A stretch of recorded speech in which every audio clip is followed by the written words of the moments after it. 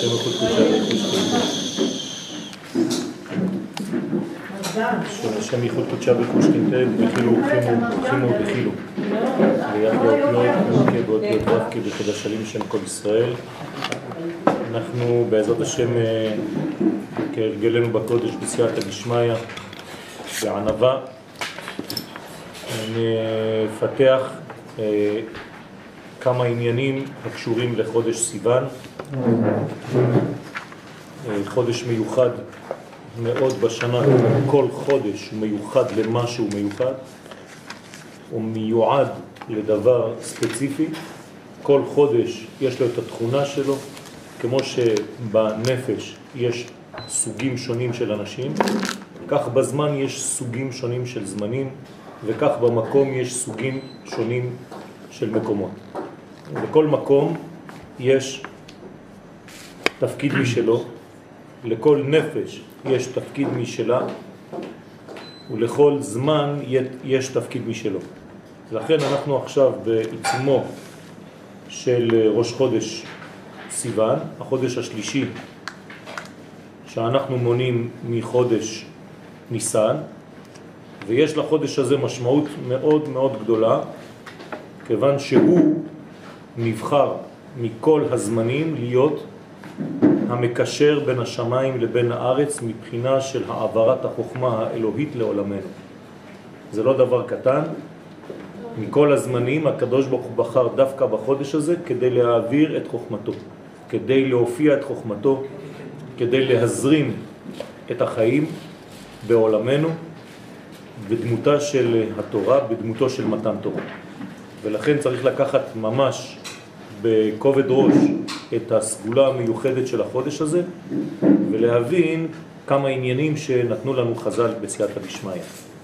אז כתבתי כמה ראשי תיבות, רז, זה האותיות של החודש, כלומר הכוכב המיוחס לחודש הזה הוא הכוכב כוכב, והאות שלו זה רש, המיוחדת לאותו כוכב, הכוכב הזה נברא דרך האות רש, לא ניכנס עכשיו לפרטים, אבל הקדוש ברוך הוא בורא הכל באותיות, מביא, מוביל את כל הרעיונות שלו, האינסופיים, דרך אותיות, לכן הכוכב זה בעצם כוכב מהיר מאוד, התכונות שלו מהירות, התנועות שלו מהירות, ולכן האות רש בצורה שלה מראה על האצה כשתופסים סיבוב. כמו שאנחנו בעצם בסיבוב עם רכב, אז הסיבוב מאיץ את התנועה, כך הכוכב הזה יש לו תנועה מאוד מהירה. המזל של החודש, הפילטר שדרכו עובר אור השם, הוא מזל תאומים. זאת אומרת שבשמיים יש קונסטלציה של כוכבים בצורה מיוחדת, שהקונסטלציה הזאת, האוסף, החיבור של הכוכבים דומה לתאומים. מה זה דומה לתאומים? יש איזה מין צורה של כוכבים שמראה דמות כזאת בשמיים, ויש כמובן רעיון שמסתתר מאחורי הרעיון הזה, והרעיון הוא שבחודש הזה אנחנו כביכול תאומים למה שקורה בשמיים. מסיבה פשוטה, השמיים ירדו לארץ בחודש הזה. כלומר, הפכו את הארץ לתאומה למה שקורה בעולם העליון. אז אפשר לומר שבעצם השמיים והארץ הפכו להיות כמו אחים, מלשון לאחות, ואז התנועה השמימית מתגלה או מופיעה בתנועה הארצית, ולכן זה מזל תאומים. אותיות החודש, שם הוויה שמופיע בחודש י' ו' ה' ה', כלומר אותיות זכריות לחוד ואותיות נוקביות לחוד. שימו לב שהחודש מחולק לארבעה שבועות, יוצא שבעצם בשבועיים הראשונים יש לנו שתי אותיות מצד הזכר, ובשבועיים האחרונים של החודש שתי אותיות מצד הנקבה. מה זה אומר? זה אומר שבעצם מתן תורה בא מהזכר. זאת אומרת שבשבוע הראשון, שאנחנו נמצאים עכשיו בתחילתו, ובשבוע השני, ומתן תורה יהיה בשבוע הראשון, כלומר בין השבוע הראשון לשבוע השני, ולכן זה בעצם חייב לבוא מהזכר. התורה היא זכרית ביסודה ונוקבית בגילויה. ולכן השבועיים האחרונים של החודש הם שתי נקבות, כאילו לרמוז לנו שאנחנו צריכים בשבועיים האחרונים של החודש לנסות כמה שיותר לקבל את מה שניתן בשבועיים הראשונים. באנה בכוח שם מ"ב, יחיד גאה לעמך, פני זוכרי קדושתך. כן, כמובן שיש כאן קוד מאוד מאוד גדול ורציני בשם מ"ב, יחיד, כלומר התורה שבאה מהמדרגה שנקראת יחידה, מהחוכמה העליונה, מהאחדות האלוהית, יחיד גאה לעמך. אתה בעצם מתגלה רק לעם שאתה גאה בו. מה זאת אומרת? השם מלאך גאות לבש. כשהקדוש ברוך הוא מגלה מלכותו, הוא כאילו מתלבש בגאווה. שייכת לו. זאת אומרת שהגאווה של הקדוש ברוך הוא זה מי שמגלה אותו, מי שמלביש אותו. יוצא שמי שמלביש את הקדוש ברוך הוא במרכאות בעולמנו זה עם ישראל. לא שהפכנו את הקדוש ברוך הוא לבן אדם, חז ושלום, כמו שעשתה הנצרות, לא שאמרנו שהעולם הזה הוא הקדוש ברוך הוא, כמו שאומרים הפנתאיזם, אלא בפננתאיזם, שהעולם הזה מגלה את האלוהות, בלי להיות אלוהות הוא בעצמו. ולכן יחיד גאה לעמך, הגאווה שלך עוברת דרך עמך, פנה זוכרי קדושתך. זאת אומרת שאתה בעצם פנית למי שאמון, כן, על הזיכרון של האלוהות בעולם הזה, של הקודש בעולם הזה. במילים אחרות, עם ישראל. אם אה, נשים לב, השורה הזאת באנה בכוח היא השורה השישית, כלומר מקבילה לספירת היסוד. ולכן כל דבר שעובר מעולם לעולם חייב לעבור דרך ספירת היסוד, אי אפשר אחרת. במילים אחרות, התורה חייבת להשתמש ביסוד כמו ברית אצל האדם כדי לעבור מתכונה לתכונה מעולם לעולם. אין מעבר מעולם לעולם, ממדרגה למדרגה, בלי לעבור דרך היסוד. לכן התורה ניתנה בשבת, כי שבת זו ספירת היסוד. נכון? החוכמה, יסוד דאבא, האיש שדרכו מועברת התורה זה גם כן יסוד, יסוד דאבא משה רבנו, וכמובן כל המנגנון הוא בעצם זיבוג אחד גדול בין הקודש לבין העולם, עד כדי כך שהעולם שלנו נכנס להיריון במתן תורה. ולכן קוראים להר הזה הר סיני, הריון של סיני.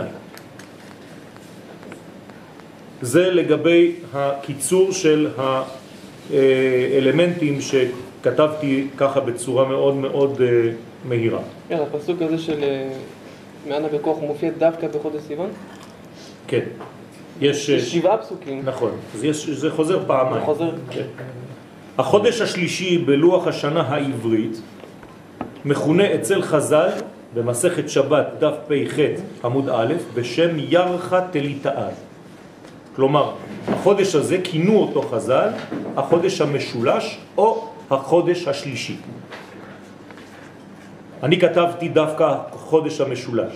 למה? כי מהעמקה יותר בנושא שמתי לב שזה לא רק החודש השלישי, זה גם, אבל זה במיוחד שלישי שהופך להיות משולש.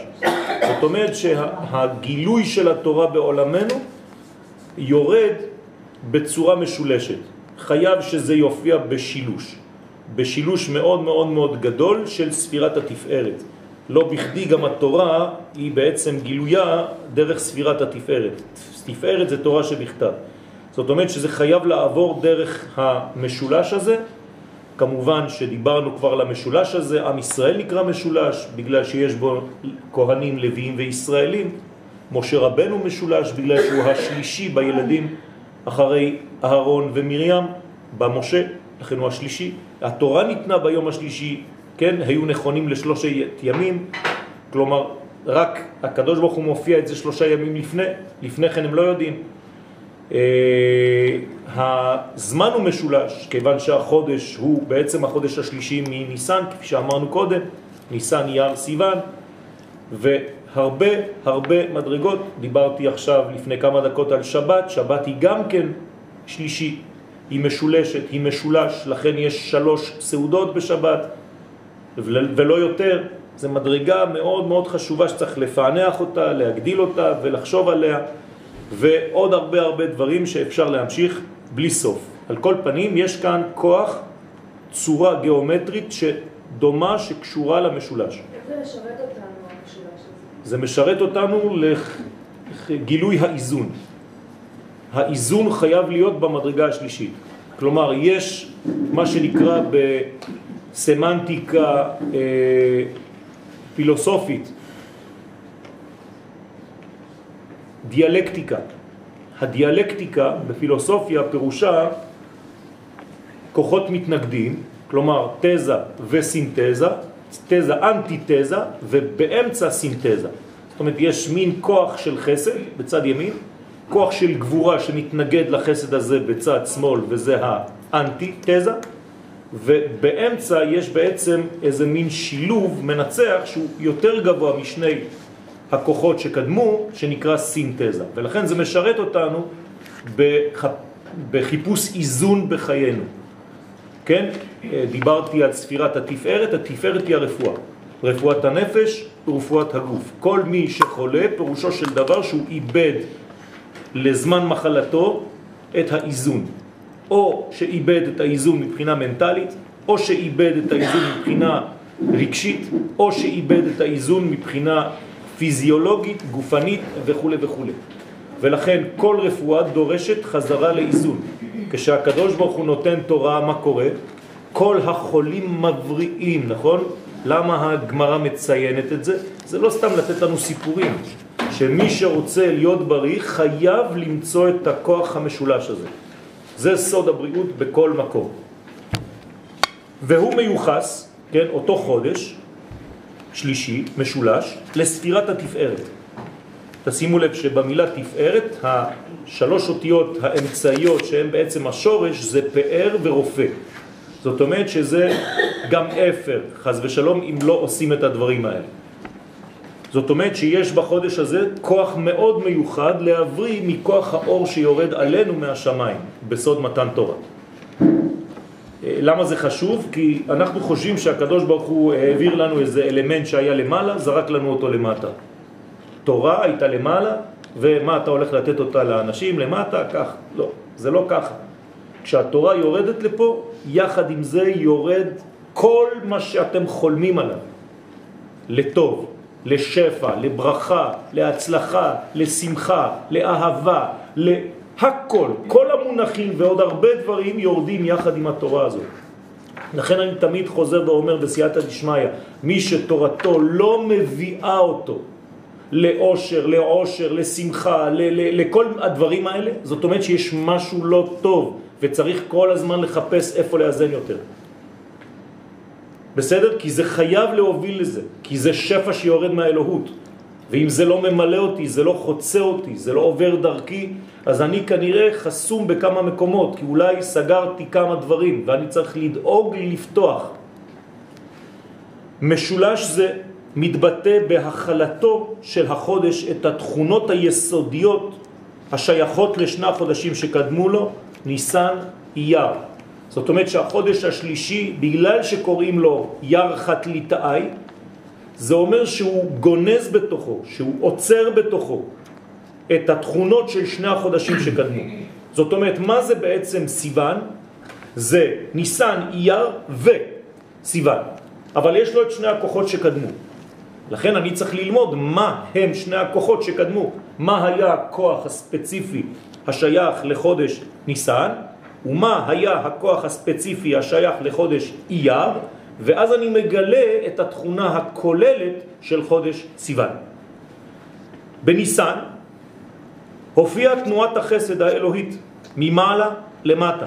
כלומר, ניסן זה אור ישר, זה אור של מוחים גדולים מאוד, כוחות עליונים שבאים להוציא את העולם מדיכאונו, להוציא את האדם מכלאו, להוציא את האדם מיגונו.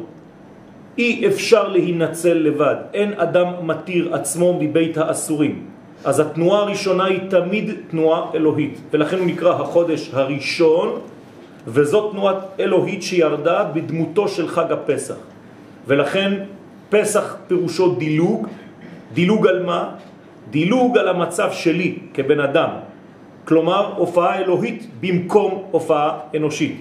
כי אם הייתי מחכה להופעה האנושית לא היה קורה כלום, אלא להפך, הייתי נשאר בכלא עד היום. לכן זאת הופעה שבאה ממעלה למטה, זה נקרא אור ישר. ואותה הופעה הולידה את יציאת מצרים. כלומר, מה שראיתם בשטח ביציאת מצרים לפני חודשיים זה היה פשוט תופעה, כן? נלווית לירידה הזאת האלוהית. רק שניצלנו את זה, ואז יכולנו לברוח ולצאת מכל מיני מאסרים. גם מבחינה, שוב פעם, של עבדות לפרעה, וגם מבחינה רגשית ומנטלית כל אחד ואחד בעולם שלו. לצאת מכל הזוהמה, לצאת מכל הכלא שאני נמצא בו, שסוגר אותי, שחונק אותי. מה קרה באייר, חודש לאחר מכן? התגלתה הגבורה האנושית, שהייתה גנוזה בישראל בבקשת פסח שני. היום עוד יותר ברור, יום העצמאות, יום ירושלים. זאת אומרת שההיסטוריה של עם ישראל מתקדמת, אנחנו רואים במוחשיות שחודש אייר מעניק לנו כוח מהאדם עצמו, מההופעה האנושית שהופכת להיות שותפה לגילוי האלוהי. אז אני חוזר, חודש ניסן זה בעצם כוח שבא לנו מלמעלה, חודש אייר לעומתו זה כוח שבא לנו עד כדי כך שאנחנו יכולים להמציא לעצמנו חגים. פסח שני זו המצאה במרכאות אנושית. ולכן אנחנו יכולים להוסיף חגים בהיסטוריה, לא רק שם, אלא אפילו במודרנה. חודש סיוון, עכשיו החודש שלנו, השלישי, מגלה איפה את שתי התכונות יחד. זאת אומרת שיש לו, בגלל שהוא נקרא ירחה תליטאי, החודש המשולש, יש לו משניהם. והן משלימות זו את זו, הסגולה של חודש ניסן והבחירה האנושית של חודש אייר. זאת אומרת שבחודש סיוון, מתן תורה, זה בעצם גם ירידה ממעלה למטה, זה המתן תורה, וזה דורש ממני כבן אדם להיות שותף למהלך הזה ולא להירדם. ולכן אני חייב להתעורר במרכאות כדי לקבל, להיות כלי קיבול לאור הגדול הזה. וזה מה שאנחנו עושים בליל שבועות, אנחנו מתקנים בעצם את הכלים שלנו, להיות ערים, לא לישון בלילה הזה. למה אנחנו לא ישנים בלילה הזה של מתן תורה, מוצאי שבת הבאה, בעזרת השם? כדי להיות כלים ראויים לקבלה של האור, לא רק לנתינה. הוא נותן, בוודאי שהוא נותן, אבל הוא לא צריך את היום הזה כדי לתת, הוא נותן כל יום. אבל בלילה הזה המיוחד, בגלל שאני הופך את השינה ל, ל, לחיים, ל, אני לא ישן, אני לא מת, אז אני הופך בעצם את כל המציאות למציאות אחרת של כלי קיבול של אותו אור. תבינו טוב, אם הוא נותן את האור הזה ואני ישן, זאת אומרת שבעצם פספסתי משהו, אני לא מסוגל להיות שם. ישנם זמנים כאלה, שגם דרך השינה אני חייב לישון כדי לקבל, אבל לא בלילה הזה. לא, זה אומר שחודש סיוון הוא תולדה של ניסן ואייר. לא, הוא לא תולדה, אמרתי שהוא זה פלוס זה, והוא מעצמו, כן, עוד יותר חזק. זה אל תגידו למשל שיעקב זה בעצם אוסף של אברהם ויצחק. לא אמרתי דבר כזה. אני מאוד מדייק במילים, אברהם זה חסד, יצחק זה גבורה, זה לא חגבורה. בסדר? זה תפארת, זה משהו אחר. מה זה חיבור של שניהם? לא. זה לא חיבור של שניהם, יש את שניהם שם, זה משהו אחר. זה כמו תשעה אנשים שכל אחד שווה אחד והעשירי הוא כבר לא שווה עוד אחד, הוא שווה עשר, זה כבר משהו אחר. עלית לפלטפורמה אחרת. אם אחד יוצא, זה כבר המניין מתפרק, נכון? למה? כי כל אחד כבר עובר עשר. היה צריך הערה כדי לצאת ממצרים, הערה מלמעלה. כן. זאת אומרת שבלי הערה מלמעלה אני לא יכול לצאת ממצרים. נכון, נכון, זה השלב הראשון. אז זה חודש ניסן. ניסן, בסדר. אז יש, יש תהליך כלשהו שאתה חייב לעבור אמרתי, התהליך. הוא תהליך שמתחיל מלמעלה, תמיד, כי הרי הקדוש ברוך הוא ברא אותנו, כל תהליך התחיל מלמעלה, אנחנו בריאה, נכון? אז הוא התחיל מלמעלה. ביום הראשון שהאדם הראשון נברא, זה התחיל מלמעלה. לא צריך לחכות לפסח. הוא ברא אותי, זה התחיל כבר מלמעלה. עכשיו תתחיל לעשות דברים בעולם הזה. וכל פעם שקורה משהו, השלב הראשון הוא ניצוץ ראשוני שאנחנו מקבלים, שלב שני אנחנו צריכים לפתח את הניצוץ הזה, ושלב שלישי לגלות אלמנט שבעצם היה גם שם וגם שם, אבל עוד משהו נוסף. תמיד השלישי מוסיף משהו. החוט המשולש לא במהרה ינתק. החוט המשולש הוא לא רק אוסף של שניהם, הוא אלמנט יותר גבוה. ולכן יעקב הוא לא סתם אוסף של אברהם ויצחק, הוא הופך להיות ישראל. בסדר? ימין ושמאל, תפרוצי. אי אפשר בלי זה. איזה מושג יש לה, איזה מושג נוסף אחרי יש אור ישר, אור חוזר, והשלישי יהיה מה? אז האור, השלישי הוא אור, אור ישר לשלב נוסף. אור בכלי. הרי אם זה היה חסד מול גבורה, מה היה צריך לקרות? הגבורה מחבה את החסד, נכון? אחד מתנגד לשני, ונגמר הסיפור. זהו, זה סוף המדרגה. אז איפה המלכות הייתה אמורה להיות? שם, בתפארת. אם זה ממשיך, מה זה אומר? שהתפארת התגברה בתנועה מיוחדת משלה עכשיו. היא מולידה עוד שלב של שלוש מדרגות. בסדר? אבל זה כן פועל שיוצא מתוך השניים. עוד פעם, בוודאי שאנחנו משתתפים, לוקחים את שניים, אבל זה לא, אם תיקח עכשיו זכוכית מגדלת, אתה לא תמצא בתפארת רק חסד וגבורה. כאילו, אם לא הייתה הערה מלמעלה, אתה לא יכול לצאת ממצרים. נכון, זה בוודאי ידוע. נכון, אבל אין בתפארת רק חסד וגבורה. חמישים חמישים, אין. זה משהו נוסף. תכונה נוספת. זה כמו שני אנשים שלומדים תורה. התורה שתצא היא התורה שלו או התורה שלי? חדשה. לא של שניהם. זהו. זה אלוהות חדשה שיורדת בעולם בגלל ששנינו הורדנו משהו שלישי שבכלל לא כיוונו, לא הוא ולא אני לפני שהגענו לשיעור. זה נקרא חידוש. אם לא, אני מת. אם אני לומד סתם ושנינו בעצם סגורים בתוך המערכת שלנו, זה לא, זה לא תורה. התורה תמיד מגלה אלמנט שלישי, שלא היה, לא נלקח בחשבון לפני כן. אם אתה חושב שאתה תאמר את כל מה שרצית לומר לפני שהגעת לשיעור, אתה סגור בתוך מגירה, בתוך ריצ'ראץ'. אין לך חידושים בתורה, תשכח מזה. תמיד יש חידוש, אין בית מדרש בלי חידוש, למה? כי יש פן אלוהי שיורד שעובר את כולנו. האירוע המרכזי שעזר לנו להבין את סודו של חודש סיוון הוא מעמד הר סיני. כלומר, אני צריך לראות מה קרה, דה פקטו, במציאות, בחודש הזה. דרך אגב, זה לא כתוב בשום מקום. אני צריך גם לנחש שזה היה בחודש הזה. כן, לא כתוב בתורה שהתורה ניתנה בחודש סיוון, בחג השבועות, זה לא כתוב ככה. חג השבועות בתורה זה בכלל לא מדבר על מתן תורה, זה מדבר על ביקורים. על ספירת העומר, וספרתם לכם, לא כתוב מתן תורה. כלומר, צריך ממש דברי חז"ל כדי להבין שהתורה ניתנה בחודש הזה. כן. זה כבר שיעור בפני עצמו. ברוך אתה אדוני אלוהינו מלך העולם שהכל נהיה בדברו.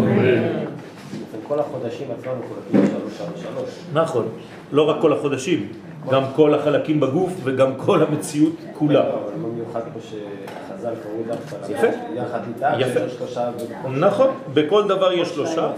נכון, אבל פה יש לנו מנגנון מיוחד, ואת זה בדיוק אני רוצה לגלות. בסדר? מראשית הבריאה לא ידע העולם חידוש כזה. שבורא העולם בכבודו ובעצמו מופיע לאנושות כולה, דרך עם ישראל כמובן, כדי להעביר לה, לאנושות, את דרכי תיקונה והשלמתה. זאת אומרת שבפעם הראשונה בהיסטוריה, מאז שהעולם נברא, עברו אלפיים שנה ופלוס, ופתאום הקדוש ברוך הוא מחליט במרכאות, כן? לרדת לעולמנו, להתגלות בעולמנו כדי להעביר לנו מסר. כלומר, הבורא פונה אל האדם. לא ראינו דבר כזה, תופעה. כמובן שהכוח של המפגש הזה בין האינסוף לבין המציאות היה כבר גנוז בזמן הזה מששת ימי בראשית. זה לא שפתאום הקדוש ברוך הוא התחשק לו. עכשיו יצאנו ממצרים אז בוא נעשה פעולה, אם לא שיהיה לנו חג לכל חודש. לא. הזמן הזה, לפני שזה נקרא סיוון, היה זמן בבריאת העולם, לא קראו לזה שום שם, לא היה אף אחד כדי לקרוא שמות. הקדוש ברוך הוא ברא את הזמן.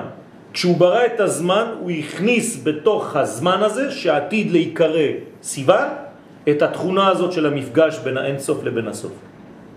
יום אחד גילינו את זה, אז עשינו מזה חג. אבל זה היה כבר מששת ימי בראשית, כלומר אפילו מי שחי לפני כן ולא קיבל תורה באותו זמן, יכול היה לקבל את התורה באותו זמן. ואני משער ויודע שאברהם אבינו בעולם הפנימי הפרטי שלו היה עושה את חג השבועות כמו שאתם לא ישנים בלילה. זה גם אברהם אבינו לא היה ישן, הוא היה מרגיש שיש אור שיורד מהשמיים והוא קרא לזה מתן תורה שלו, של עצמו. לא צריך לחכות, רק שהתורה שם הייתה בצורה אחרת. איך אנחנו יכולים להיות פסיביים בלילה הזה? כי אם לא קיבלנו... בזה- יכול, איך יכולים להיות מה? נכון? לשבת וללמוד זה פסיביות? זה הכי אקטיבי. אקטיבי, אז אני אומרת, אנחנו צריכים לקבל את התורה. נו. אז- אני אומר זה תיקון למה שעשו בזמן מתן תורה שישנו. ישנו שקיבלו את התורה. בוודאי, כולם. נכון. העירו אותם עם השופר, עם הקולות, הברקים, מפחד. כולם נרדמו, כולם ישנו באותו לילה, אף אחד לא התכונן, אף אחד לא ידע, אף אחד לא כלום. בגלל זה אנחנו ערים, זה התיקון שלנו. למה זה נקרא תיקון ליל שבועות? תיקון של מה? של אותה שינה, של אותה תרדמה. עכשיו אני מתייחס אלייך ואליי ואל כל הנוכחים פה. אם נותנים לך תורה ואתה ישן, מה קורה? זה מה שקורה לנו כל החיים. הקדוש ברוך הוא נותן לנו כל הזמן מלא דברים. תקראי לי זה תורה, תקראי לי זה משהו אחר, ואין לך כלי כדי להכיל את זה. יום אחד אתה בא ואתה מתלונן ואתה אומר לקדוש ברוך הוא, למה לא נתת לי זה? למה לא עשית לי זה? ומה הקדוש ברוך הוא יגיד לך? הרי נתתי לך את זה, נתתי לך את זה, נתתי לך את זה, נתתי לך את זה, אבל אתה ישן, אתה רדום. אני מדבר עלינו, רבותיי. לכן, כוח המפגש הזה בין האינסוף לבין הסוף היה כבר גנוז בזמן הזה מששת ימי בראשית, אלא שגילוי הדבר בפועל רק הוסיף ושפך אור על כל הנושא. פתאום גיליתי שלחודש הזה יש תנועה מיוחדת, קוסמית. למה? כי היה מעמד.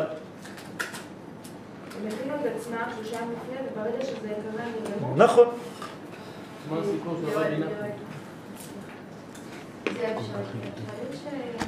שהחודש הזה זה אין לו קשור, קשר עם הזמן? זה לא אפשרי, ככה זה כתוב בתורה. הרי אין תאריך, לפני שהגעת אמרתי את זה. אין תאריך ואין שם ואין כלום לחודש הזה, כלום, לזמן הזה. למתן תורה אין תאריך. התורה לא כתבה בשום מקום את התאריך של חג השבועות. אז אנחנו לא בזמן. אנחנו לא בזמן, נכון. אמרת משהו? לא רק שחודש סיוון בא וגילה את האור האלוהי בעולמנו, אלא שהדבר הגדול בכל זה הוא העובדה שנוכחנו לדעת שיש גם מי שנותן את הדבר הזה. זה לא איזה דבר שהתגלה לנו, וואו, נפל לנו איזה משהו מהשמיים, לא. יש זהות שעומדת מאחורי הנתינה. זה הדבר החשוב, רבותיי. רובנו, הרבה אנשים שוכחים שיש זהות נותנת.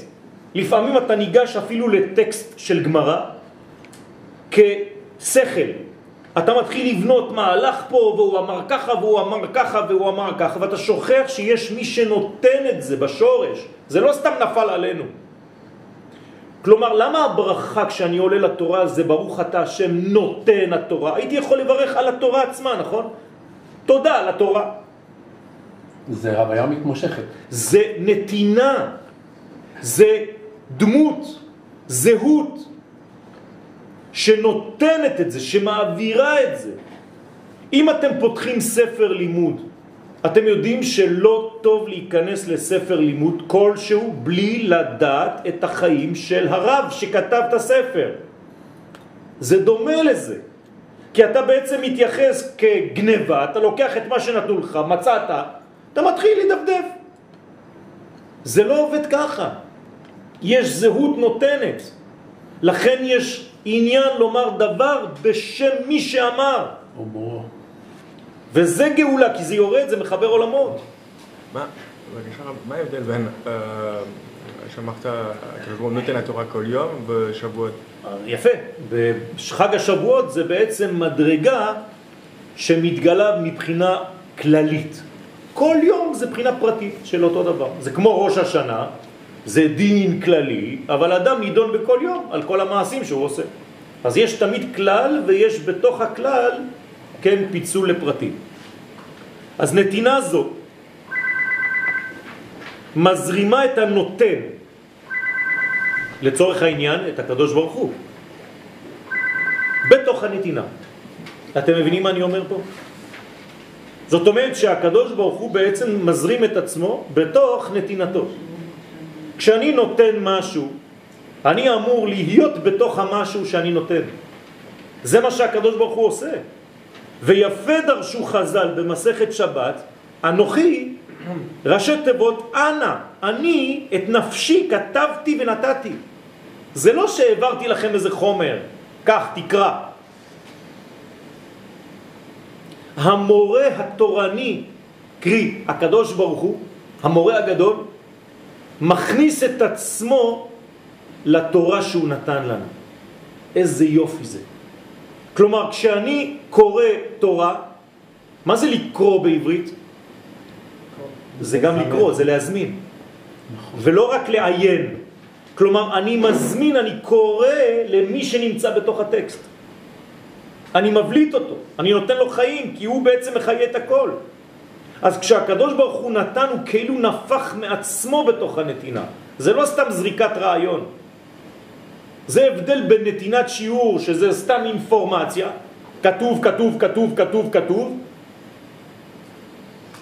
לבין שיעור שבעצם הרב מכניס את הנשמה שלו בתוך השיעור. כדי שזה יגיע יותר, זה נוגע בנקודות מאוד מאוד מדויקות. ומכאן שכל פעם שאדם לומד תורה, הוא נפגש עם הבורא עצמו, הגנוז בה. בבחינת אותי אתם לוקחים, ככה כתוב בתנחומה. אתם יודעים מה זה אומר? שכל פעם שאני לומד תורה, עכשיו זה מה שאנחנו עושים, אנחנו לוקחים אותו כביכול, ולקיחה פירושו של דבר בלשון התורה נישואין. אנחנו מתחתנים עם הקדוש ברוך הוא כל פעם שאנחנו לומדים תורה. זה כבר רמה אחרת. זה לא סתם נתינת אינפורמציה כמו שאתה קורא עיתון, קרה, קרה, קרה. בחודש השלישי מתגלה האמת העליונה לעיני הבריאה כולה דרך הצינור ישראל. זוהי מידת התפארת הבולטת בחודש סיוון, המאפשרת ירידת השמיים על הארץ. במילים אחרות, אם אין תפארת, אין שלב הבא. אין רגליים. מה יש אחרי מידת התפארת? נצח ועוד. אין רגליים. כלומר, מי שלא מעביר הלאה, אין לו רגליים. אז הרגליים שלו חלשות, העמידה שלו על קרקע המציאות חלשה. אלה ילדיו. לא, זה חלק, זה הילדים. אז הוא לא מעביר. כי הוא לא נותן, כי אין לו את כוח ההשפעה הזאת שנקראת תפארת. ולכן כשהקדוש ברוך הוא מתגלה בתפארתו, זה אומר שיהיו לו רגליים, שיש לו רגליים, שיש לתורתו רגליים. וזו תורת אמת, כי לשקר אין רגליים. הכלל שהופיע בחודש ניסן והפרטים שבלטו בחודש אייר, אתם שמים לב שאני מתרגם את כל מה שאמרנו קודם במונחים חדשים. כלומר, ניסן זה חודש של כלל, אייר זה חודש של פרטים, כי זה כבר שייך לעולמנו, לעשייה האנושית, מתאחדים בחודש סיוון לטובת העולם. זאת אומרת שיש לי בעצם בסיוון כלל ופרט. וכשיש לי כלל ופרט, יש לי הכל. ואז יכולה להופיע מדרגה חדשה, שלב חדש. זה מנוע חדש. זה החודש הכי טוב לעשות השלום. לכן זה נקרא מזל תאומים. זה העניין. שבעצם אתה מוצא את ההתאמה בינך לבין האחר. תאום זה לא רק תאום, זה התאמה. זה דבר תואם. אבל יש גם בפנים מוות. אם זה לא נעשה כמו שצריך. ביחס לחודש סיוון נאמר בספר שמות, פרק י"ט, פסוק א', בחודש השלישי לצאת בני ישראל מארץ מצרים, זה מה שיש בתורה. הנה, בחודש השלישי אנחנו צריכים לדמיין מה זה, החודש השלישי זה סיוון, זה בסדר, מה קרה, מה התורה אומרת שקרה, ביום הזה באו מדבר סיני, זהו. כלומר, הגענו בעצם לדלת, לפתח של מדבר סיני, בחודש השלישי. ויסעו מרפידים, ויבוא מדבר סיני ויחנו במדבר, ויחן שם ישראל נגד ההר. אוקיי, הנה תיאור תורני של מה שקרה בחודש ניסן. כאן, בתיאור הזה, יש לי אינפורמציה מספיק חזקה כדי לבנות שיעור לשנה. מעניין שזה אחרי שרפו ידיהם. כן, זה, זה כל העניין. אתה צריך להבין מה קורה פה, בכמה מילים. מבחינה סימבולית, החודש הזה מאפשר יציאה מן הרפיון. אוקיי? הרי זה מה שכתוב. אני עכשיו לוקח את הפסוקים ואני מתרגם אותם למציאות חיה. הרי כתוב ויסעו מרפידים, כלומר אתה, כשאתה תגיע לחודש סיוון, קרי היום, אתה צריך לצאת מכל רפיון. זהו, תפסיק עם הרפיון שלך. כל דבר שמחליש אותך, כל דבר שמושך אותך כלפי מטה, סטופ. צא מהרפיון הזה. ומן החולשות למיניהם. כל אחד עם הכאבים שלו והחולשות שלו ואיפה כואב לי ואיפה לא כואב לי, כל יום. זה חודש של הליכה, כלומר בחודש הזה אומרים לך ויסעו מרפידים ויבואו, תתקדם, תלך, ולא בכדי קוראים בו בספר במדבר. למה התחלנו לקרוא בספר במדבר בספר הזה? דווקא עכשיו. תמיד שבועות זה במדבר, זה הולך ביחד. חג השבועות, מתן תורה זה במדבר. למה? כי המדבר הזה זה הליכה. אסור לחנות. אם אתה חונה במדבר, אתה בעצם מתרגל לגלות. לא לשכוח, מדבר זה גלות. מדבר זה רק כדי לחצות. חוצים מדבר. לא חיים במדבר. זה לא נורמלי לחיות במדבר, כמו שלא נורמלי שעם ישראל יחיה בגלות עד עכשיו. ההליכה במדבר עניינה לנקות את נפש האדם מכל האינפורמציות הזרות לזהותו. לא סתם אנחנו הולכים במדבר הזה, הקדוש ברוך הוא הביא אותנו למדבר הזה, לגלות הזאת, אבל צריך לדעת גם מתי היא נגמרת. ומה עושים במדבר הזה? פשוט עוברים שם, מכל ההפרעות, הפרעות, אותיות פרעה, כן? הפרעה. אתה צריך להתנקות מפרעה, אתה צריך לצאת מההפרעה הזאת. כי אם אתה עדיין בהפרעה, או של קשב וריכוז, כמו הרבה אנשים היום, זה אומר שבעצם משהו מונע ממך מלקבל את האור בצורה נקייה וזכה. אתה כל הזמן שומע על אינפורמציה אחרת. אנחנו לא מסוגלים להתרכז במשהו יותר משלושת רבעי שעה. אני כל הזמן דואג שהשיעורים יהיו יותר ויותר קצרים, כי אני רואה את זה. אתה רואה את זה באופן מיידי, חוץ מכמה אנשים שהם כולם שם, ואתם אנשים לא בחורי ישיבות שהם רגילים ללמוד שעות, אתה יכול לדבר עם בחור ישיבה ארבע שעות, הוא יהיה ככה, הוא מסתכל עליך, אבל אנשים רגילים, אתה מכניס להם עכשיו ילד קטן, כולם מסתכלים עליו, פוצי מוצי, פוצי מוצי. אני יכול לדבר לבד. ואם יש משהו שזז, או מישהו משדפק על החלון, זהו, נגמר השיעור, כולם שם. תוך שנייה, כולם כבר יצאו מהשיעור. זה, זה, בדיוק, זה בדיוק מה שאנחנו מנסים, אני מעביר את המסרים לאט לאט, אבל צריך ריכוז, ריכוז זה לשון מרכז, אנחנו לא במרכז, מרכז זה תפארת, זה קו אמצעי, ולכן כל פעם שאנחנו נוטים ימין ושמאל, אנחנו נתקעים בקיר. כן, זה רשעות, זה רשעות. היום ראיתי אישה רשעה, איך ראיתי אישה רשעה? אתם לא תבינו, אתם תחשבו שזה וואי, מה, גם לי זה קרה. אז גם את, קרה לך דבר כזה, באותו זמן היית רשעה.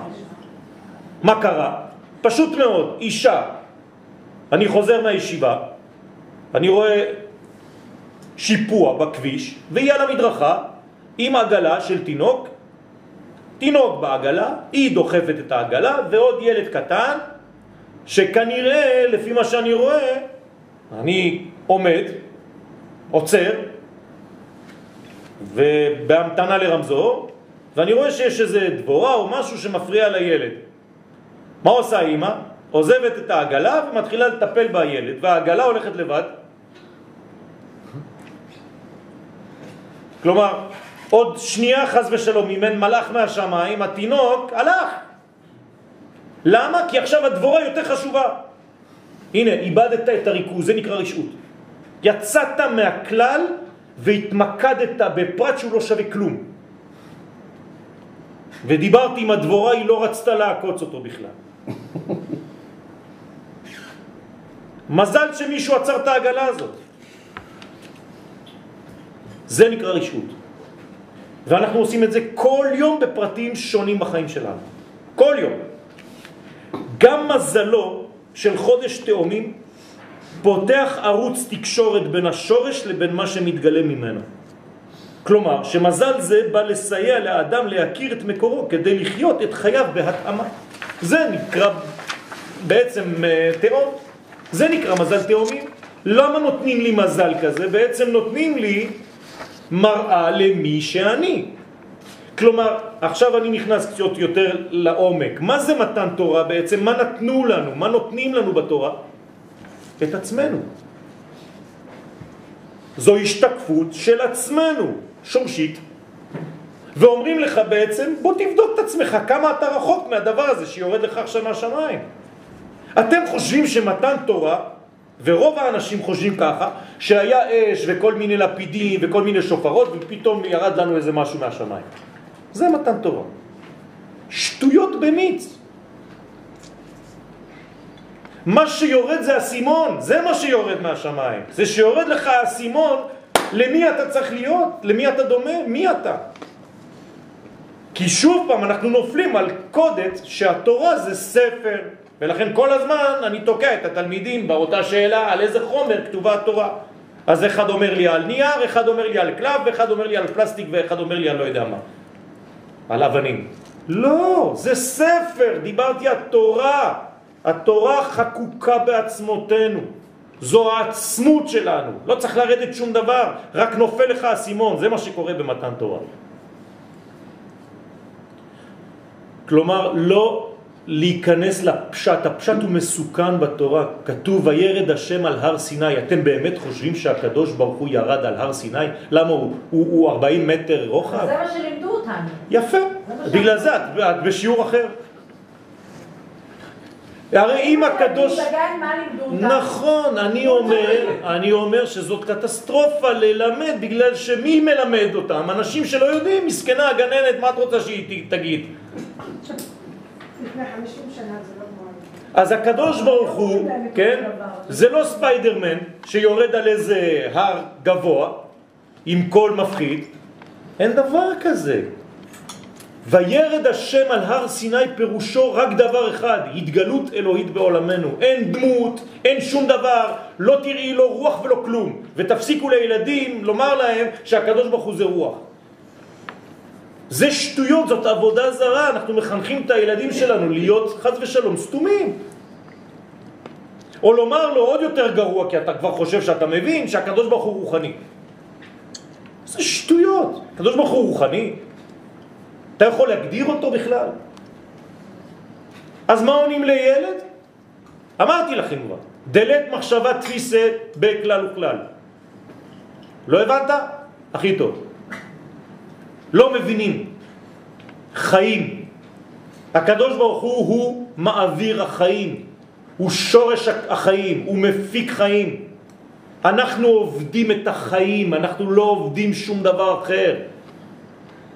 אנחנו משרתים את החיים, את שורש החיים, שברא את החיים. זה משהו אחר, זה לא עץ הדעת, זה עץ החיים. נפלנו בגלל עץ הדעת הזה. כשהתורה מדגישה ביום הזה באו מדבר סיני, מה היא רוצה לומר ביום ההוא באו מדבר סיני, ביום הזה? היא מדברת על ראש חודש סיוון. חז"ל אומרים לנו, זה היה ראש חודש. כלומר שכבר בפתיחת החודש, עם כניסתו של החודש, צף הרעיון המרכזי שאפשר את מתן תורה. אתם מבינים מה אני אומר?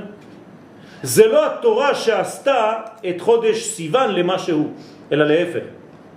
חודש סיוון גרם לזה שתינתן בו תורה.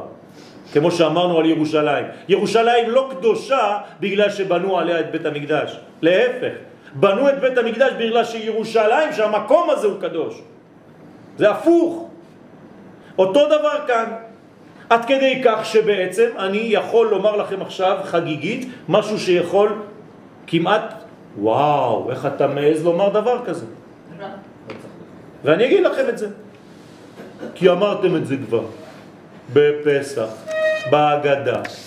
אילו קרבנו השם להר סיני ולא נתן לנו את תורתו, דיינו. אז מה? זאת אומרת שעצם זה שהייתי בהר סיני זה מספיק. אז מה קרה שם? ומתי זה קרה? בראש חודש סיוון, כלומר האינפורמציה שמעניינת אותי עכשיו זה שקרה משהו בחודש הזה בהתחלה. התורה ניתנה בבת אחת או שהיא לאט? אין דבר כזה בבת אחת, שום דבר לא ניתן בבת זה אחת. התחלה של תורה. התורה יורדת כל הזמן, היא כל הזמן ממשיכה לרדת, זו זרימה של חיים שממשיכה ומתפתחת, אין דבר כזה, היה שמה ועובר לפה, אין דבר כזה. לפני הר סיני לא היו חיים? בוודאי שהיו חיים, מאלה שקיבלו את התורה בצורה אינדיבידואלית, לא מבחינה קולקטיבית של עם. זה החידוש. לכן בראש חודש סיוון נעשו ישראל כאיש אחד בלב אחד, קרה משהו שם. הרי כתוב ויחן שם ישראל תחת ההר. כנגד ההר. מה זה נגד ההר? כאיש אחד בלב אחד, נכון? זאת דרשת חז"ל. מתי זה קרה? אל תתבלבלו, אתם חושבים שזה היה במתן תורה, נכון? תגידו את האמת. לא נכון, הנה עכשיו אני מתקן לכם את הבעיה הזאת. זה קרה בראש חודש, עכשיו. כאמור, תכונה זו עודנה קיימת. כלומר, אם זה קרה עכשיו, זה עדיין מתעורר בעולם. כלומר, היום, עכשיו, ברגע הזה שאנחנו לומדים, זה פתיחת החודש, עוד לא הגענו לחג השבועות. אנחנו צריכים לגלות מה שנמצא באוויר עכשיו. אתם מרגישים מה יש באוויר עכשיו? כאיש אחד בלב אחד. אם אנחנו לא מרגישים, אנחנו חולים. זאת הבעיה שלנו. סליחה, לא היינו ככה סוף? לא, לא כתוב את הדבר הזה. כתוב שבים סוף הגענו למדרגה של נבואה, שראתה שפחה על הים מה שלא ראה, להפך, שם יש הבדלים. שפחה, גדול, קטן, ארבעה כתות נכנסו למים, פה לא, כאיש אחד בלב אחד, אין, זהו. איזה מדרגה, אם שם זה מה? עתיק. מה? עתיק ואתה אומר שזה עדיין לא. שם התגלה התיק, הם לא הגיעו למדרגה הזאת, התגלה משהו. פה זה מדרגה אחרת. זה כאילו איש אחד קיבל את התורה. רק איש אחד. איך קוראים לאיש הזה? עם ישראל. פתאום קם אדם, בבוקר הוא מרגיש כי הוא עם. בסדר? אמר הרב. וכאמור, תכונה זו עודנה קיימת, והיא מתעוררת כל שנה מחדש באותה עת. כלומר, זה היה אתמול בלילה ועכשיו. אנחנו עדיין ראש חודש, נכון? אנחנו גולשים, זהו, ליום השני, אבל זה היום הראשון עכשיו. כלומר, היום הייתי אמור לאהוב את עם ישראל ולהרגיש כאילו אני אחד. אבל שמה זה העובדה שהתורה אומרת לי. היא לא אומרת לי כל יום זה קרה. אני חייב להתייחס לתורה. התורה נותנת לי פסוקים. אם התורה אומרת לי שבחודש השלישי, וחז"ל אומרים שזה היה ראש חודש, שהגיעו למדבר סיני ושם היו נגד ההר והם דורשים כאיש אחד בלב אחד, זאת אומרת שיש זמן מיוחד בשנה לזה. ובלי זה אין מתן תורה. ש... אה, אז אני עכשיו אוסיף לכם. המדרש במחילתא מגלה שבחודש סיוון קרה דבר חריג בגודלו. כל מקום הוא אומר ויסעו ויחנו, הנה המדרש מתייחס לזה, כלומר בלשון רבים, הם ינסעו וחנו ונסעו וחנו. נוסעים במחלוקת וחונים במחלוקת, כל הזמן. אבל כאן הושבו לב אחד, אומר המדרש, ויחן שם ישראל נגד ההר. נראה לומר כי זו הייתה כוונת דברי ההגדה, אילו קרבנו השם להר סיני, ואפילו שלא נתן לנו את תורתו דיינו. למה? כי אין מקום יותר גבוה מזה, למה אתה רוצה כבר תורה? אתה הפכת להיות תורה כבר, אם הגעת למדרגה כזאת. אתה צריך שיתנו לך עוד משהו? זה משיח. בוודאי שזה משיח. בוודאי שזה משיח, זה לא סתם מדרגה, בגלל זה אנחנו לומדים כל הלילה, יש הרבה ללמוד. ללמד כי עצם השגת האחדות בראש חודש סיוון הייתה כבר אירוע שלא, כן? סליחה, מיוחד במינו. לפעמים קופצים לי דברים, אני כותב מהר. ובאמת, המדרש, עכשיו תשימו לב מה אומר המדרש, בפתיחתא דאיכה רבתי כף מציין, כיוון שנעשו ישראל כאיש אחד בלב אחד, אמר הקדוש ברוך הוא, עתה הגיע הזמן ליתן תורה לבניי. בלי זה לא הייתי יכול. בגלל שהגעתם למדרגה הזאת, ציפיתי לזה. ברגע שאתם מגיעים לזה, אתם יכולים. מה זה אומר? כלומר שעצם עמידתם של ישראל נגד ההר, הושוותה למתן תורה. זה כבר תורה. זהו, אתה. לא כתוב עוד שישה ימים. מתי בעצם הקדוש ברוך הוא לפי המדרש הזה נתן להם את התורה? בראש חודש. עכשיו. העלייה מקומת רפידים, אני חוזר לפסוק שקראנו מקודם, למעלת הר סיני, מחייבת שינוי יסודי בנפש האדם. התרחקות מן המחלוקת המזמינה את עמלק ברפידים. מה זה ויסעו מרפידים? ממה הם ברחו? ממה הם נסעו? מהמחלוקות, הם נסעו מהמלק, הם נסעו מהספק, מכל השאלות האלה כל הזמן כאילו כן אבל אתה אומר ככה וזה לא נכון אבל אני רואה ככה ואני רואה ככה. כלומר כל מה שאתה אומר לנו זה סתם בזבוז זמן כי אני לא רואה את מה שאתה אומר. זה מה שאנחנו אומרים לקדוש ברוך אז, הוא. אז למעשה הם חשו את הזמן הזה של ראש חודש. זה גאולה, זה גאולה שלמה ואז הם הבינו שהם צריכים להיות ביחד. בוודאי. זה הבעיה של התימהון לבב הזה שאני מדבר עליו כל הזמן, שהרב קוק כל הזמן דיבר עליו. שכשאתה אומר משהו למישהו, כשהקדוש ברוך הוא נותן לך אינפורמציה, אתה אומר, לפי ראות עיניי זה לא ככה.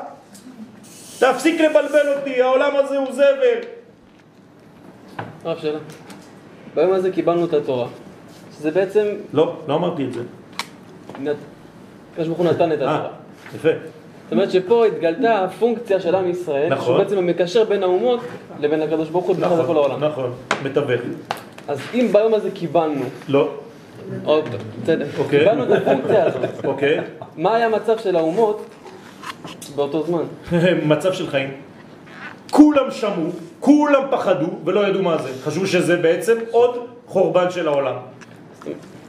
התחילו כבר, אם ביום הזה דווקא הוא נתן את התורה דווקא ביום הזה, זאת אומרת שהיה קשר כלשהו גם בין יש קשר. בוודאי. הרי כשעם ישראל מקבל את התורה, נכון? מה אומרת הארץ, האדמה, המציאות, החיים? סוף סוף, ארץ ירה ושקטה, כולם נרגעו. כולם, כל העולם עשה, הציפורים, החיות, כן. כולם. בכל העולם גם. כתוב שלא היה רעש, כי כולם ציפו לזה. כלומר, בלי המעמד הזה, העולם היה מת, חוזר לתוהו ובוהו. וזה מדרש מפורש. אני מחזיר אתכם לתוהו ובוהו. אז עכשיו אנחנו דיברנו על שבועות, אני פה אומר לכם שישה ימים קודם. כלומר, הקדמתי את חג השבועות למתי? לראש חודש. עכשיו אנחנו מחכים לזה שוב, ישראל 2018. בוודאי, מה אתה מחכה? אתה אקטיבית, אתה צריך לעשות את זה, לא לחכות. לא, משהו שאמור לקרות בסגנון הזה. בוודאי, בוודאי, עכשיו, עכשיו. יש את ה- זה תמיד, רק צריך לראות את זה, עם עיניים חדות. ריקוד הדגלים. אם אתה לא חי את הדבר הזה, אם אתה לא בוכה בירושלים, ביום ירושלים, משמחה, מאושר, אתה חולה. אנחנו חולים. אם צריך לשכנע אותי שצריך לומר הלל, אני חולה. בחוסר רגש, בחוסר רגישות. זאת מחלה נפשית, רבותיי. זה לא עניין הלכתי. אם אני צריך להוכיח משהו מבחינה הלכתית, כן הלל, לא הלל, ברכה, לא ברכה, אתה חולה. לא, אבל אין מקום בזה שכותבים בספר ברכה לבד. בוודאי, דתיים. אם אתה רוצה להגיד תודה למישהו, אתה צריך לבוא ושאני אשכנע אותך להגיד לו ככה או ככה? לא, אני אומר, אולי הם רואים. אין דבר כזה. אם אתה רואה, אתה שלם. אתה שלם, אתה אומר הכל עם ברכה ולא אכפת לך משום דבר. אתה לא נכנס לפרטים הקטנים האלה. יותר מזה, כשהרב קוק היה יוצא בירושלים, ביום ירושלים, הבן, ביום העצמאות, הבן, היה נכנס לישיבה ובוכה. ממה? הוא אמר, ראיתי חילול השם גדול מאוד. אז אמרו לו התלמידים למה? כי הגברים היו רוקדים עם הנשים? כי היו גברים ונשים רוקדים ביחד. הוא אומר, עזוב, זה שטויות זה. כי לא ראיתי אף אחד מהצד השני שבא ורוקד. לא ראיתי רבנים רוקדים. אתה מדבר איתי על גברים ונשים שרוקדים? נפלת עוד פעם לדתיות. דרך אגב, בשנים הראשונות גם בישיבות אמרו עליהם. בוודאי. לא רק שבישיבות אמרו הלל היה דגל ישראל בכל הישיבות ואמרו הלל רק בשנים האחרות אחרי זה התחילו להתקרר וכל מיני שיטות לא יודע מאיפה הגיעו כדי לקרר עמלק, ספק, חס ושלום אני צריך לשאול את עצמי שאלות אם אני רוצה ל- הרי בלי ברכה זה לא הלל אז מה אתה אומר? מה אתה צוחק עליי? המקום הזה של עולת הלב, שיש איזושהי הסתרה של עולת הלב, כן? כן, כן. כמובן שיש איזה אקט סימבולי של האדם להיות שותף למהלך, אבל זה רובו ככולו בא מלמעלה. והיא, סליחה? פשוט להחליט לצאת, להחליט לצאת מפרעו, להחליט לצאת מההפרעות. פרעו שווה הפרעה. תפסיקי להתבלבל עם ההפרעות. הפרעות של קשב וריכוז, הפרעות של אמונה, הפרעות של לא יודע מה. אבל מדברת על משהו אחר, זה הפרעה של אדם לחברו, של ה... זה אותו דבר. לא משנה מה הוא עושה לך, זה אותו. דבר. זה בגלל שיש עדיין פרעו קטן שאומר לך את פה והוא שם. זהו. וזה יותר מפרעו, זה אפילו מידת סדום. שלי שלי ושלך שלך. כאיש אחד בלב אחד, אחדות חיצונית כאיש אחד ופנימית בלב אחד. זה משהו עולמי שקרה שם ושיכול לקרות, כי אם זה קרה פעם זה יכול לקרות. זה קורה עכשיו, כאיש אחד בלב אחד. בוודאי. פקודי הדגלים, אורות בירושלים, היו שם מיליונים של אנשים. נכון, נכון. כי אנחנו חוזרים להיות בריאים. מי שרואה את זה... וזה יותר חזק מכל המחלוקות האלה. כלומר, העם יותר בריא מכל המחלוקות ההלכתיות. אתם שמים לב למה שאני אומר? לא אכפת לו, הוא לא יודע בכלל מה המחלוקת הזאת. הוא שמח, מבחינתי זה הלל. אמא שלי לא אמרה הלל ביום ירושלים, היא לא יודעת לקרוא. אבל היא התקשרה אליי בבוקר ואמרה לי, "אה, הבן שלי, אני בוכה, אתה לא מבין, אני זוכר שהבאת אותנו ביום ירושלים. הם עלו לארץ ביום ירושלים. אמרתי לה, אמא, בטלפון שעשית לי עכשיו אמרת הלל, עם ברכה. חודש סיוון מסוגל להכיל את האחדות המוחלטת. מה זה האחדות המוחלטת? קודשא בריחו. זה חודש האחדותי ביותר בלוח השנה, ובו ניתן להתפגש עם התכנים הנשמתיים ביותר של המציאות. יש יותר גבוה מהקדוש ברוך הוא? אין. והוא מופיע. זה סודו הפשוט של מתן תורה, אין יותר פשוט מזה. קיבלנו את החיים, מנה של חיים. אנחנו גם מפיצים אותה לכל העולם וזה משגע אותם. ואם נזכה לדלות מן החודש הזה את היסוד הגנוז בו, נזכה לגילוי מחודש מן השמיים. תורה אחת תהיה לכם. כלומר, אני לא נתתי פעמיים תורה, זאת אותה תורה. תשחזר את זה. ואם כי ניתן לשוב ולגלות את העוצמה הנסתרת בכלל ישראל בחודש סיוון, יחד עם זאת יש להתייחס גם לרובד הפרט. אני לא מבטל את הפרטים, כי מרוב, מרוב, מרוב, מרוב, היי, היי, היי, היי, טרללי, אתה יכול לשכוח שאתה בן אדם. לדאוג לנאמנותו לנשמה הכללית, אז כל אדם צריך לדאוג לזה, להיות קשור לנשמה הכללית.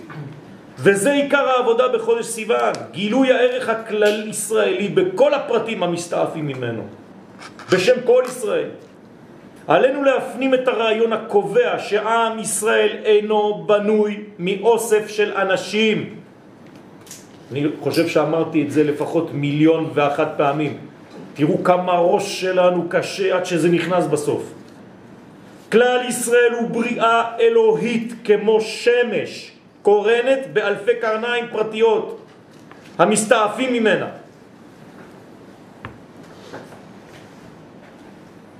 התכונה המשולשת השייכת לחודש סיוון קושרת בין כל קצוות המציאות כדי להופיע את הכלי המיוחד המסוגל להכיל את האורה האלוהית. רק זה הכלי, יש כלי אחד. הכלי הזה הוא עם ישראל. הרי הקדוש ברוך הוא נתן תורה למי? לאנשים פרטיים או לעם?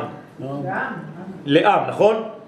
לא מדובר באנשים פרטיים, מדובר בעם אשר בחר בנו כעם מכל העמים ונתן לנו כעם את תורתו. אז למה אני ממציא דברים? כלומר, אם אני לא לומד את התורה כשאני לומד אותה כעם, יש לי בעיה. המדרש בדברים רבה אומר, מחזק ביתר שאת את עובדת האחדות שהתגלתה בישראל במתן תורה. תראו מה אומר המדרש. אילו היה חסר אחד מישראל, לא הייתה התורה ראויה להינתן. כולם היו. כולם היו. מה זה היו? לא פיזית. כולם היו שם, מבחינה נפשית, אני איתכם, אני זורם. לא שאתם עושים משהו ואני בצד עומד ואומר, אה, אני מגמגם, לא יודע, ברכה בלי ברכה, אני לא איתכם. אתה לא איתי, תפסיק. אל תעשה פה סרט. אתה צריך להיות עם העם שלך. אותה אחדות נבעה מן המפגש של ישראל עם הנקודה הפנימית ביותר של נשמתם, היחידה. כן? מדרגה הכי גבוהה שבנשמה. דבר זה הציף מחדש את האהבה ואת החשיפה לחלק האלוהי הגנוז בכלל ישראל. הרי כשאני אוהב את עמי, אני אוהב את הקדוש ברוך הוא שנמצא בפנים. מתן תורה בתנאים כאלה הופכת, כן?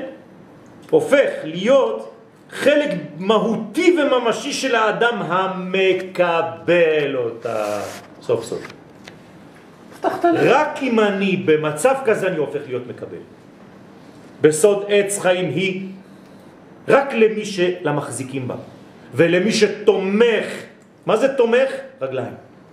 שמביא אותה במציאות. תומכים דאורייתא, נצח ועוד. תומך מאושר. מאושר לא מלשון, וואו איזה כיף, מאושר.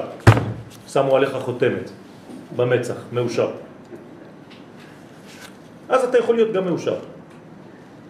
אם אתה לא מאושר מהשמיים, אין סיכוי שתהיה מאושר בעולם הזה. זכה חודש סיוון להיות נושא הערך האלוהי כשהוא מלובש במושג הזמן.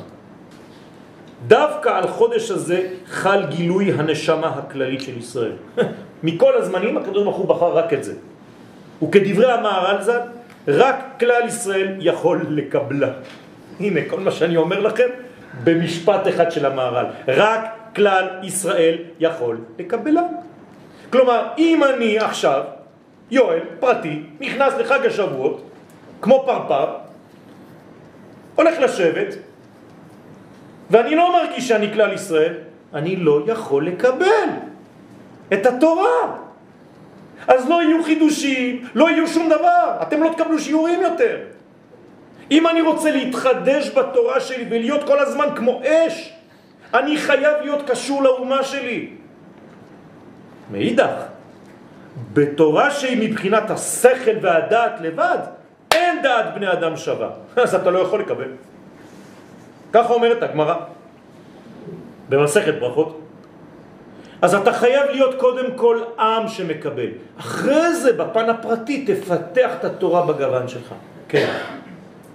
אני מניח תפילין כמו שאף אחד לא מניח פה. כמובן, גם אתה לא. לכל אחד יש את הזווית שלו, אבל כולנו קיבלנו כעם את מצוות הנחת התפילין. הזוהר הקדוש בפרשת יתרו אומר, עשיו לא יתקלל ברזה דתאומים. אין מקום לעשיו, למערב, לאמריקה, לאירופה, בחודש הזה. הוא לא יכול להתקרב אלינו. ללמד כי שורש הרע נעוץ בעלמא דפירודה, וזה הפך מזל תאומים. כלומר, אם אנחנו מתנהלים בחודש הזה עם האהבה הזאת, הבסיסית בינינו, שום אומה לא תוכל עלינו, ובחודש הזה אנחנו יכולים לפרק את כולם.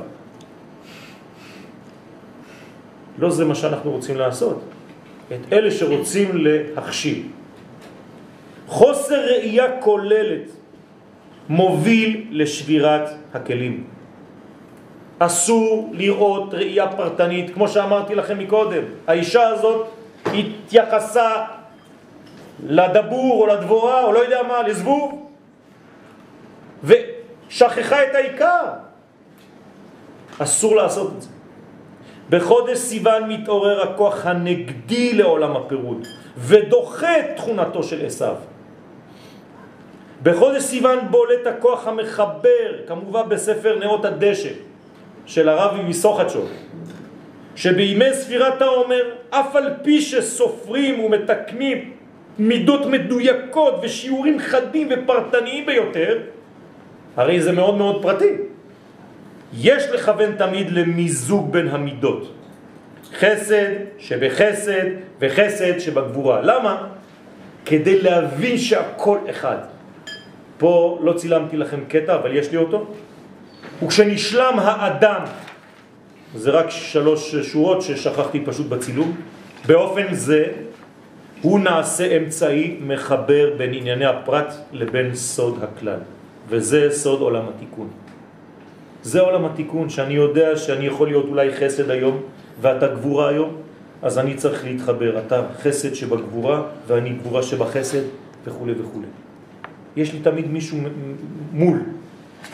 הכנה זו מאפשרת את מתן תורה באופן הראוי והשלם. מה זה מתן תורה באופן ראוי ושלם? שיהיו גם מקבלים. תודה רבה.